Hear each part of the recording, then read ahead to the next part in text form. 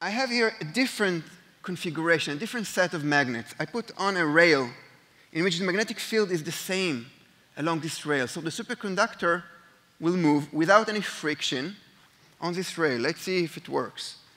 I'm going to cool it a little bit more.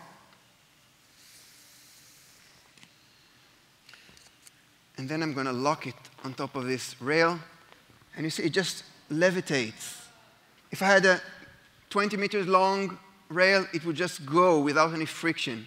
You see, the amount of energy I need to move this disk is minimal because there's no friction.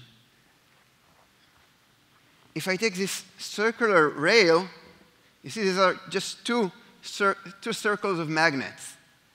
And if I take the disk and put this on the rail, you'll see that it immediately starts moving.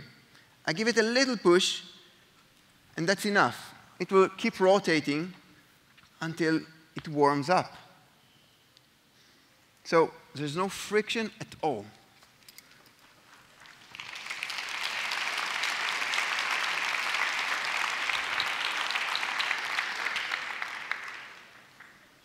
Now, I can do the same thing on this rail, but upside down, because again, this is not magnetic repulsion.